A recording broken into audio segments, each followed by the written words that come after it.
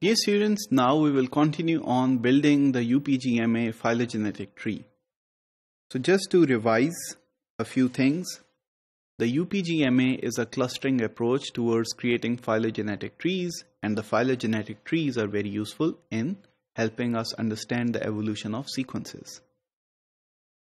In the phylogenetic tree construction, there are two components. The first is the connection between sequences or sequences and cluster.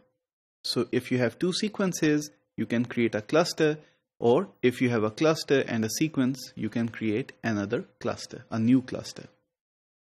The second condition is, so you have two trees or two subtrees which you want to join. So the UPGMA treats both of these conditions and gives you a complete tree. The formula to compute the distance between a sequence and another sequence or a sequence and a cluster is given here as you would know by now and the distance between two trees can be computed using this formula. So let's continue with our example.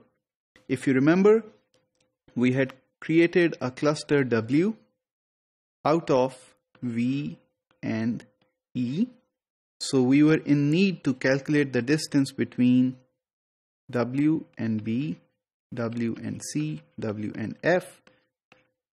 And as a result, V and E will be eliminated from the distance matrix. So let's see how we calculate the distance. So the distance between W and B is very easy to calculate using the formula so the number of sequences in V, so remember V was a cluster with sequences A and D. So it has two sequences. So here you input 2. Distance between V and B. So V and B have a distance of 6. So here you go. And the number of sequences in E. So E is still one sequence and the distance between E and B here. So it is 6 and you divide it by the sum of 2 and 1 so the answer is 6. So hence the distance between W and B is 6. So similarly you compute the distance between W and C. So number of sequences in V are 2 because you have A and D here. So you have 2. Distance between V and C is 8.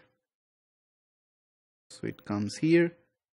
The sequences in E are only 1 and the distance between E and C is 8. Of course, you divide it by the sum of the number of sequences in E, so that is 3 in all, 2 plus 1, and the distance between W and C comes out to be 8.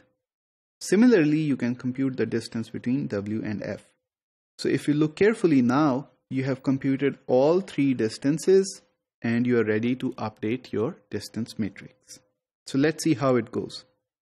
So this was your distance matrix with V and E.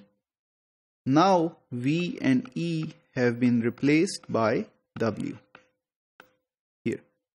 So here is W and the distances 6, 8 and 6 were just computed in the previous slide and therefore you have the updated distance matrix. So you would have noticed that our distance matrix is shrinking while we are clustering different sequences and clusters. Now, if you remember A and D were grouped into cluster V and V and E were grouped into cluster W. Now if you look at the distance matrix, the shortest distance that is stated here is 4. And this is between B and F. Now B and F are both sequences and not clusters. So clusters are V and W while the sequences that are still with us include B, C and F. So now the distance between B and F is 4, the shortest distance that is there in this entire matrix. So we create a cluster between B and F and the distance is obviously 2. So 2 here, 2 here. So if you add it, then this is equal to 4, which is written here. So let's name this cluster as X. So now you have three clusters, V, W, and X, and only C remains in the distance matrix. So three clusters and one sequence remain. So now the things to remember are that two trees have been formed, two separate trees. And now we would want to join them together using the second component in the UPGMA algorithm.